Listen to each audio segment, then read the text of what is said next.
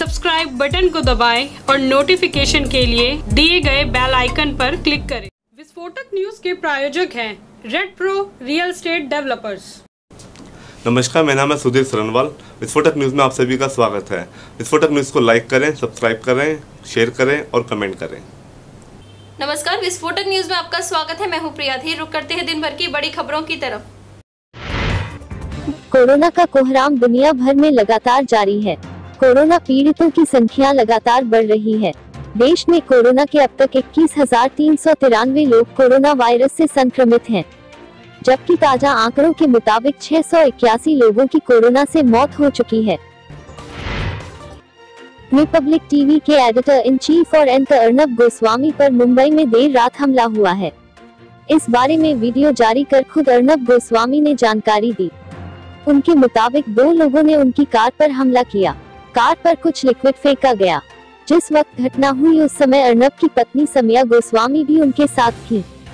मामले में पुलिस ने शिकायत दर्ज कर जाँच शुरू कर दी है।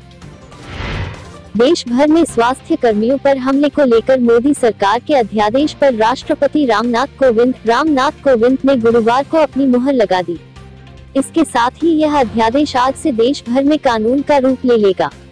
महामारी रोग अध्यादेश 2020 को मंजूरी के साथ ही अब देश भर में स्वास्थ्य कर्मियों पर हमला गैर जमानती अपराध हो गया है।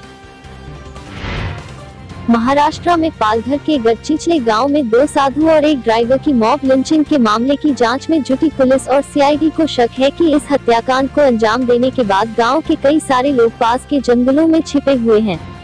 पुलिस ने अब ड्रोन के ज़रिए इन लोगों की खोज शुरू कर दी है।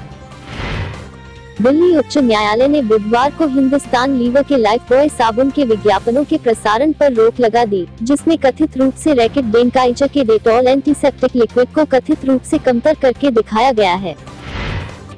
दिल्ली के जामा मस्जिद इलाके में एक ही परिवार के 11 लोग कोरोना पॉजिटिव पाए गए हैं। ये जामा मस्जिद के गली चूड़ी वलान का मामला है। बताया जा रहा है कि परिवार का एक सदस्य विदेश से लौटा था। उसके बाद परिवार के सदस्यों में संक्रमण फैला। टेस्ट के बाद परिवार के 18 में से 11 सदस्य पॉजिटिव पाए गए हैं। कोरोना वायरस की बीमारी तेज़ी से पाँव पसारती जा रही है। इस महामारी को देखते हुए सरकार ने देश में 25 मार्च से ही लॉकडाउन लागू किया है, जो तीन मई तक जारी रहेगा। इसके बावजूद बीमारों की संख्या लगातार बढ़ती ही जा रही है। राष्ट्रीय राजधानी दिल्ली से सटा नोएडा, उत्तर प्रदेश में कोरोना का हॉटस्पॉट बना हुआ है। अब गौतम बुद्ध नगर के जिलाधिकारी सुहास एल वाई ने नोएडा दिल्ली बॉर्डर को पूरी तरह से सील करने का आदेश दिया है। जो बिना पास वाली गाड़ी है, जैसा आ रहा कोई झूठ बोल रहा कोई ऐसा बिना पास वाला कोई गाड़ी को पास नहीं है, कोई का एंट्री नहीं है नोएडा के अंदर। और जो मर, रोज़मर्रा चीज़ें हैं, साग, सब्ज़ी की है, दूध की, फल की है तो गाड़ी आ रही है, जा रही है, इनके लिए कोई वो नहीं है। इनकी तो पास दे रखा। और तुम्हारा जो जो आपके कार्ड वाले, प्रेस वाले वो भी आज चल रहे हैं, डॉक्टर वो भी जाएँगे। अथॉरिटी वाले, सफ़ाई कर्मचारी, वो भी जाएँगे। तो वो तो जो पास है गवर्नमेंट ने रखा वो तो जाएँगे ही जाएँगे, लेकिन बिना पास वाला कोई प्रवेश नहीं है। केंद्रीय कर्मचारियों को फ़िलहाल निराश करने वाला फैसला सामने आया है। वित्त मंत्रालय की ओर से जारी आदेश के अनुसार जुलाई 2021 तक केंद्रीय कर्मचारियों के लिए पर रोक लगाने का फैसला लिया गया है।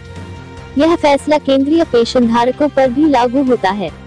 वित्त मंत्रालय की ओर से जारी रिपोर्ट के मुताबिक कोरोना महामारी के चलते 1 जनवरी 2020 के बाद से केंद्रीय कर्मचारियों अथवा पेंशनधारियों को मिलने वाली डा की राशि नहीं प्रदान की जाएगी।